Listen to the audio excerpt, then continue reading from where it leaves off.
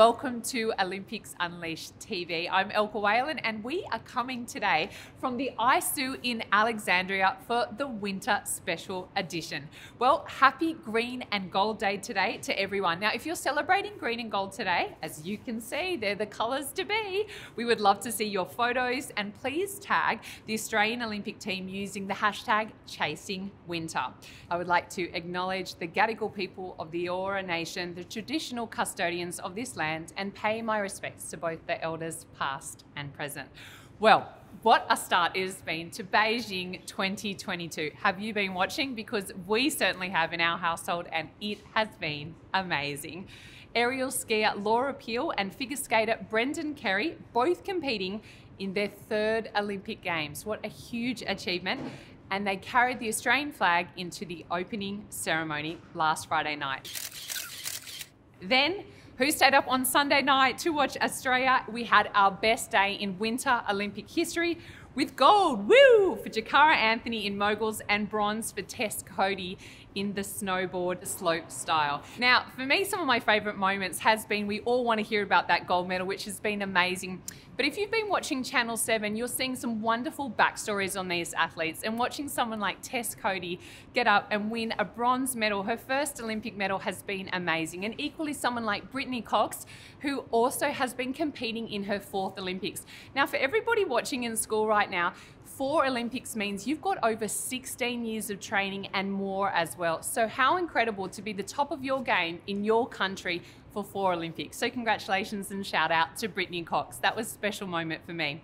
Now, the Australian Olympic team at Beijing 2022 consists of 43 athletes. How amazing is that to think of the millions in our country and only 43 athletes in our country are representing our Olympic Games this year in Beijing?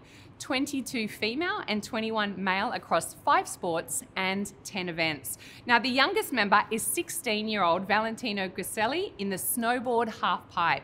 Now, snowboarder Scotty James and mogul skier Britt Cox, who we were speaking about before, will both compete at their fourth Olympics joining six other Australians to even compete at four Olympics or more at a Winter Games. So huge shout out to them. Now we have some amazing athletes competing at these games. How good has it been watching Tahli Gill and Dean Hewitt compete as the first ever Australian team in curling. And I've been seeing lots of people both on social media have a crack at that as well. So it's amazing when you watch winter sport of all these incredible events that they do that you can learn up and pick up from yourselves. Now over the next few days we'll see Bree Walker contest the women's monobob as it takes to make its Olympic debut. And as we watch and support this team, 2022 marks 20 years since we won our first Olympic gold medals with both Stephen Bradbury in the speed skating and Alisa Camplin Warner in the freestyle aerial skiing at Salt Lake City in 2002. We certainly punch above our weight, and this year we're off to a cracking start. So, joining me here today is Pyeongchang's 2018 Olympian in the men's moguls, Rohan Chapman Davies, and we will be talking to him shortly and hearing how incredible he is and his journey as well. But before we get to Rohan, let's check out the support that our winter team is receiving all around our country. Hey Beijing team, it's Jess Fox here and I just wanted to wish you all good luck. We can't wait to watch you shred it out there. Enjoy the moment embrace it, do your thing, trust yourselves, you've got this.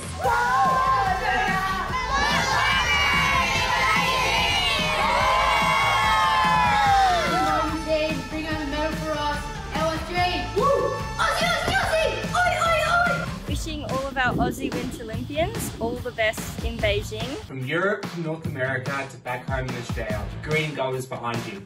Aussie, Aussie, Aussie! Good luck, Australia. We'll be rooting for you from South Australia. Good luck at the Olympics game. You can do it. Hey, Belle. Good luck. Best of luck in the Olympics. Hey, Maddie. I just want to wish you good luck in the games and that I'm very proud of you. I am so proud of you. Good luck and go get them.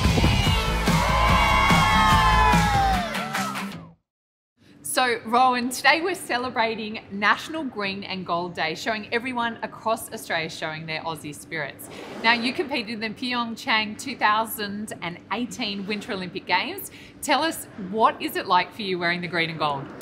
Oh, look, putting on that green and gold for the first time is just such an incredible experience. You know, Australia has such a, a rich history of sporting prowess. And, you know, to be asked to become a, a, part of that community and, and a part of that culture is, is, you know, a feeling second to none.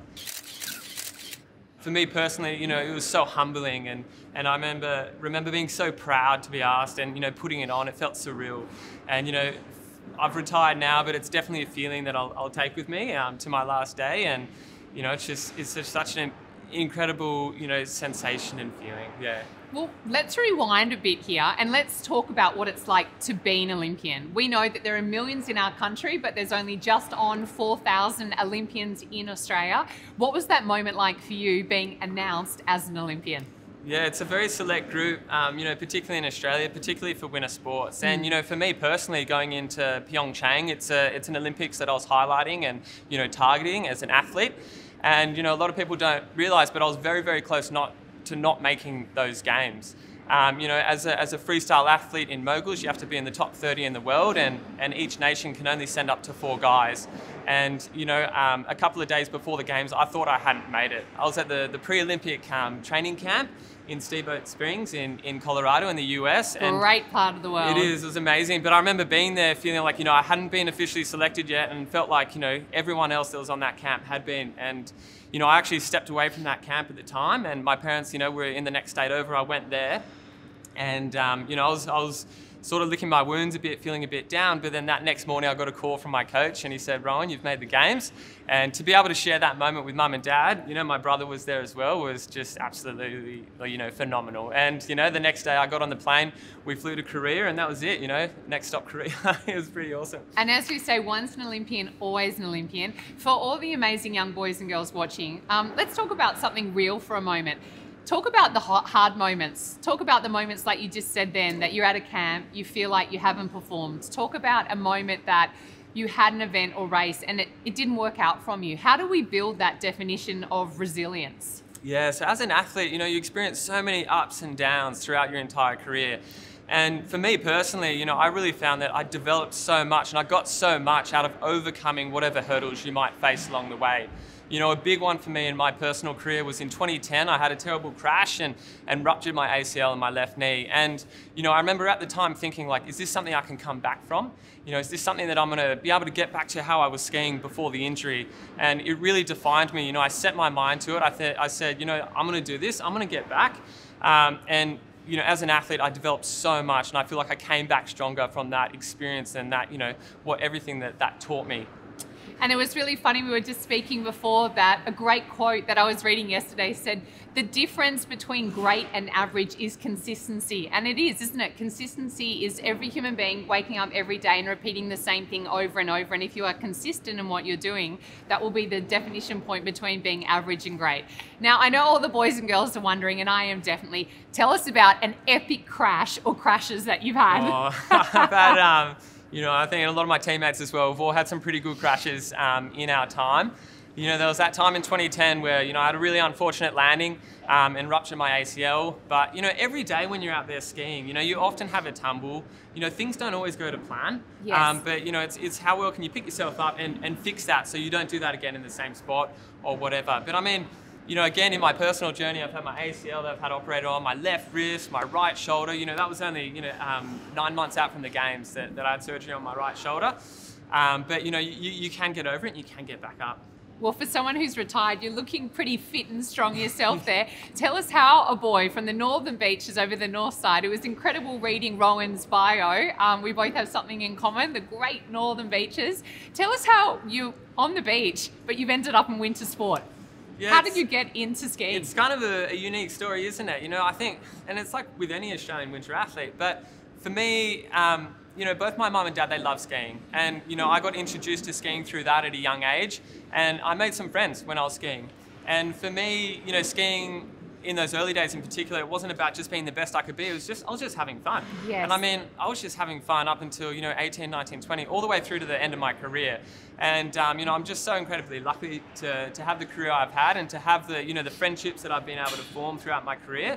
Um, and it's definitely you know something I attribute some of my success to as an athlete. And um, you know, I'm sure all these friendships and bonds that I've created with you know the Australian teammates, but also you know skiers from across the world are, are friendships that I'll cherish for a long time to come. And isn't it amazing? One of the big things that you realize about sport, whatever sport it is that you may be thinking about or that you are invested heavily into now, one of the great things that comes out from it is your friendships because they're the spice of life and they're the things that carry you on, isn't it? Absolutely. Yeah. So good.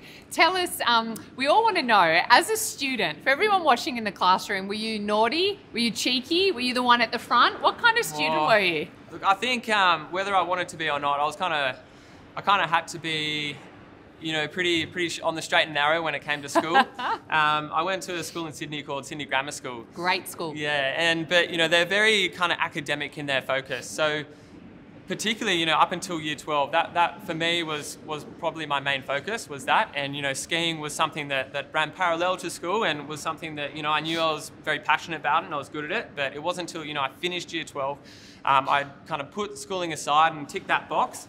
And then I can go and really chase the thing that I wanted to get after and, you know, go and excel in snow sports. Yeah. So good. And so, so far here in Beijing in the 2022 Winter Olympics, what's been a standout so far for you? or without a doubt, hands down, watching Jakara Anthony So get the good. gold medal. I mean, well done, Jack. Like from the bottom of my heart, that was an incredible performance. Um, but all the mogul guys, you know, it's such a strong team, and I think we see that, you know, in Channel 7's broadcast, how how well these guys get on together, and how you know each each competitor, although they're skiing against one another, they're pushing each other to achieve more as a team. And wasn't that amazing on that note when you just said the team and you were talking about your friendships tying everything in? Mm. Seeing Jakara on the shoulders of, as you said, of all the Aussie winter athletes there, that picture was just gold. And you know, she she had written something like, you know, couldn't have done it without you. And it just shows how close the team is, and that I think Absolutely. Drives success, being all together and cheering one another on. Absolutely. That is so good. Now, for anyone watching that wants to get into winter sport and into skiing, what would you say? What would be the biggest inspiration you could give them? Oh, geez. I mean, like anything, just have a go. If it's something that you've been thinking about or something you want to try, just have a go. See if you like it. See if it's for you. If not, that's okay. But you know, you don't know until you try. So give it a crack. Thanks so much, Rohan. Now, as you can see, you might be listening to us, but you might be looking at the amazing talent behind. And so, Rohan, I think it might be time for what we call our Have a Go segment. So, what do you think? You think you could jump on there and have a go? Look, I'm gonna have a go, but I think I might end up on my bottom at one form or another. So let's let's see what happens. Yeah. Amazing. Hi, I'm Chanel. I'm a figure skater and a dancer. Hi, I'm Andrew. I'm a figure skater and a coach, and we're here today to teach Olympian Rohan Chapman Davies how to figure skate.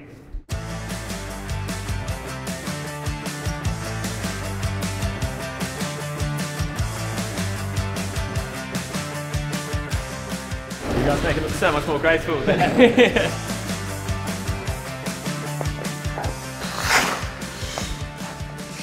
Great job, Rohan. Great job, BK. Great things happen when you have a go. Thanks, guys. Sweet.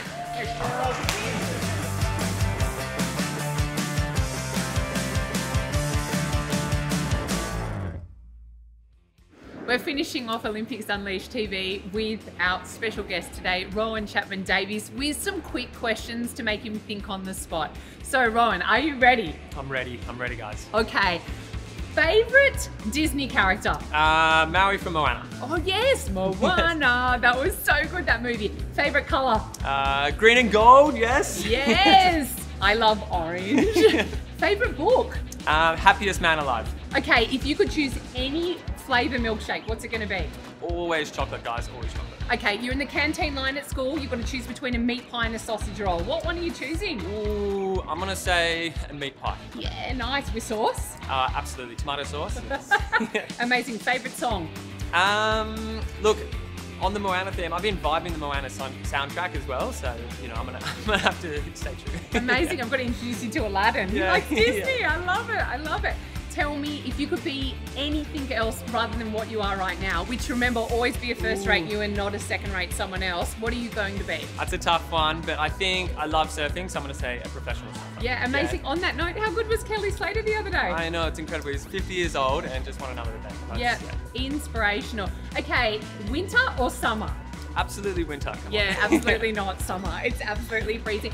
And final question favorite holiday destination? Ooh, it's always going to be a ski resort, skiing, because that's what I love, and I was so lucky to do it for so many years. So, where are you going though? Uh, I'm going to go to Telluride in the US of A. Yeah. Okay, never Yeah. heard of it. Absolutely. It's just a big mountain, steep Yeah. slopes, and just so much fun to ski. Oh, amazing. Thanks so much, Ron. We've loved having you on. Thanks for having me. We're now going to take you directly inside the Olympic Village in Beijing, where we have the Australian men's moguls team who will be answering some of your questions. Take a look. Hi everybody, my name's Brody. I'm James. I'm Cooper. And I'm Matt, and we're the freestyle mogul team. And you might be wondering right now why we are wearing masks, and that's because uh, whilst we are here in China for the Olympics, we are still in the midst of a global pandemic uh, with COVID-19, and we're just trying to do our bit to make sure we keep everyone as safe as possible. I've just come off my first Olympic debut. Um, last night, uh, I finished sixth in the moguls field, so I'm super stoked with my run. All right, so we got a few questions here, and question one is, what is the best part about the Olympic Village? From Brooke in Craigieburn, Victoria. Yeah, it's pretty special here. Um, the Australian Olympic team have done a really good job of setting up the place really, um, I guess, homely. Like you, you see behind us, we have nice photos of Australian um, snow gums and snowfields back home. Um, and then we also have some luxuries as well with, you know, really nice espresso uh, coffee and also like the breakfasts and food that's provided here is really awesome. Also just being in uh, in like a place where you're surrounded by all the best athletes in the world is pretty cool. All right, so here we have a question from Matt in Perth. Um, what does your room look like? Do they have cardboard beds like they do in Tokyo? The rooms are actually amazing. Um, really spacious compared to I think what we probably expected before getting here, and uh, and the beds themselves are supremely comfortable. I've been sleeping like a baby since we first got here, and uh, overall it's just been yeah, it's been a really enjoyable experience. Yeah, well, us, all of us four boys are in a um, like a three bedroom apartment together, which is quite nice. So we're kind of used to sharing space together and being on the road, you know, for multiple months of the year. So it's um, we kind of got a good environment in our little apartment, in our room. Um, But no cardboard beds. No cardboard No beds. cardboard beds. This is a question from Jessica and Darwin. Who inspired you to play your sport? Um, I would say the person that inspired me for to do the sport is actually the people sitting in these chairs with me. Um, I've sort of grown up in the sport with them, and um, in Australia, it's sort of a small sport, but just being around these guys has really sort of pushed me to want to do this sport and, and get better. Yeah. Yeah, likewise. I personally, um, I mean, when I first got into the sport, it was watching Dale Begg-Smith win gold at the Torino Olympics in 2006. But as Jim just said, uh, being around these guys has, has been where I've derived the majority of my inspiration throughout my career. It's it's been an absolute pleasure to to train alongside you guys and, and compete and, and just support each other and, and I feel like it's been a wonderful journey so far and I'm really looking forward to what the future holds for us. Yeah, I think one thing as well that we uh, we're all very fortunate enough is that we really enjoy what we do and uh, we find mogul skiing so fun and our passion so strong for it. So, you know, I guess one takeaway from us is that you know if you can find something that you're really passionate about and that you really enjoy, then sort of follow those aspirations and dreams. Yeah. An interesting one from Candice in Brisbane. How cold is it in Beijing? Oh my god. It's cold. Very cold. Very. I, I think I can finally feel my toes from uh, from last night. It, it took a few hours for them to come back, but um, no, we can confirm it's really cold here. It's uh, among what probably top top three coldest places we've ever skied in our lives. yeah, we're talking about minus 30, minus 20 to minus 30, and then very strong, cold, brisk winds. So this is from Samantha in Wollongong, New South Wales. How do you manage stress and nerves? Yeah, so we have a sports psychologist with us. Um, she, Stacey, gives us some really good, uh, really good tips and tools um, to help manage our, our stress levels um, when preparing for the gate or preparing to be in the gate and for when we're skiing.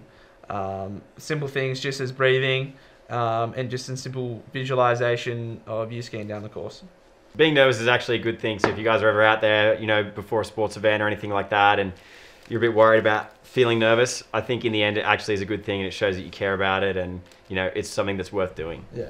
Yeah, and one one more thing that I'd add on that is uh, when you are uh, about to do something that is making you nervous, a, a big important goal to you, it's important to uh, focus on the the specific pieces of the task that you're about to perform. So if you focus on, like for us, an example for us is like when we're looking at a mogul run that we're about to perform, you know, it, it can seem quite daunting when you're standing at the top of the course. Like there's just so much that you have to manage in this run.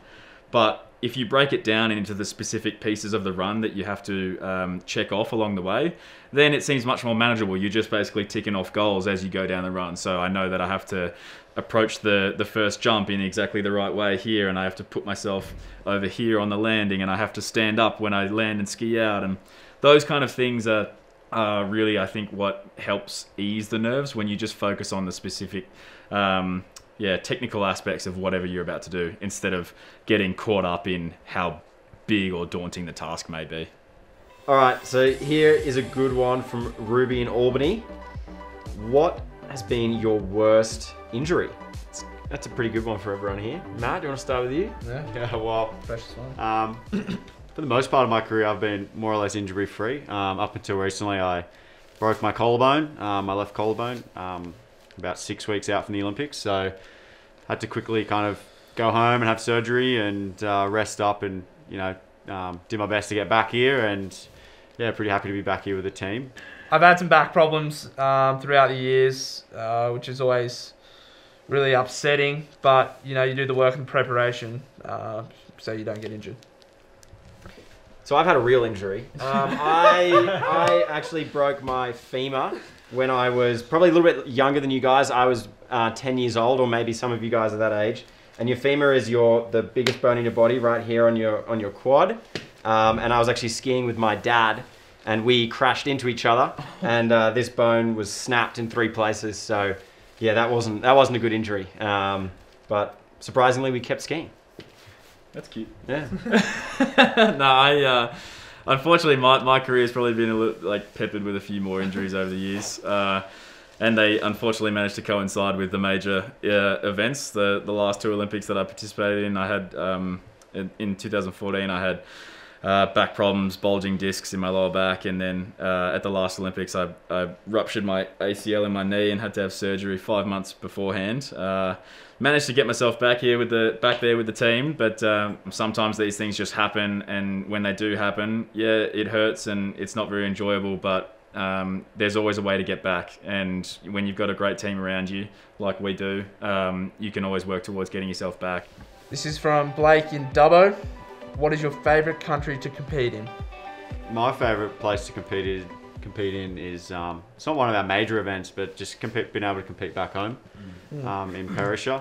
Uh, we have our national titles there each year in August. Um, that's that's where I learned to mogul ski and grew up skiing, and being able to compete in front of my family and friends is pretty special. My favorite place to ski is um, probably in Deer Valley. I think a lot of these guys will talk about it or would agree with me. Is Yeah. we have this really iconic event. It's kind of like our, you know, biggest event outside of the Olympic Games, and it's in America, in Utah. Um, and it's probably one of the best events we have. Just the way that it's set up. It's under the lights. There's a big crowd, and it's really a special uh, event every year. My favourite place to ski uh, was definitely it's definitely France. I really Mm. enjoy it there. Uh, culture's cool. The big Alps. mountains. Um, yeah, plenty of croissants, so it's it's good. Um, this one is from Bigger. Chris in Adelaide. Have you met people from other countries? Are they nice? Absolutely.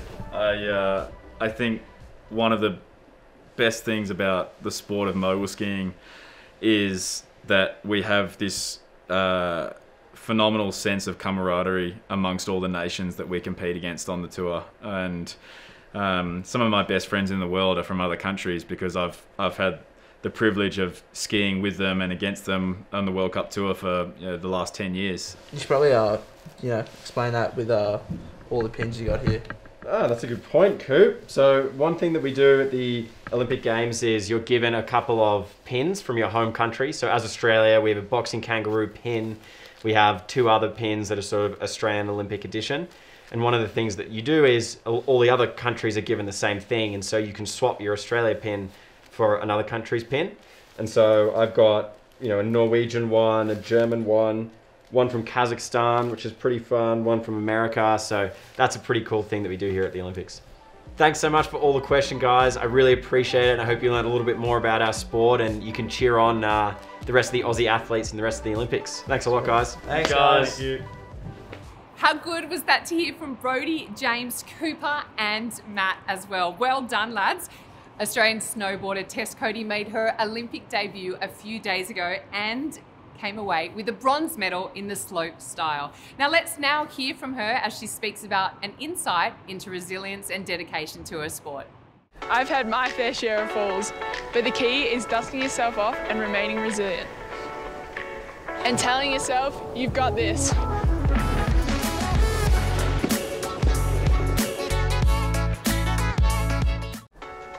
Things too seriously. At the end of the day, the most important thing is having fun.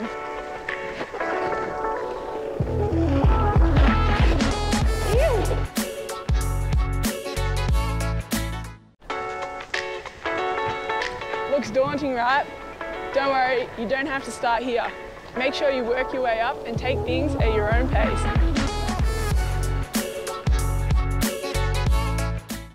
Always stay focused on what's in front. But also, make sure you don't miss out on the beauty of where you are.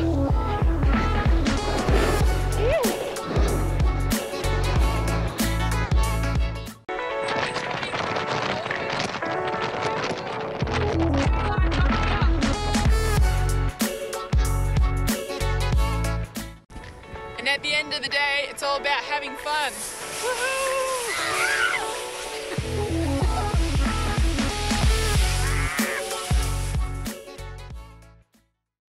Great advice then from Tess Coady. Congratulations on your bronze medal and good luck for the snowboard Big Air starting from Monday.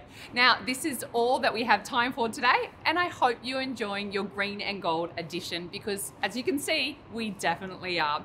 Now, there are still plenty of Aussies in action, so keep your eyes peeled to both radio and TV, and of course, checking us out on Olympic Unleashed as we've got alpine skiing, bobsled, cross country skiing, figure skating, freestyle skiing, short track speed skating, skeleton, and snowboard. And that's just to name a few. There are so many wonderful events that you can do at the Olympics in the winter sports. And as you will see in the coming weeks and days, you will experience all these that they have to offer.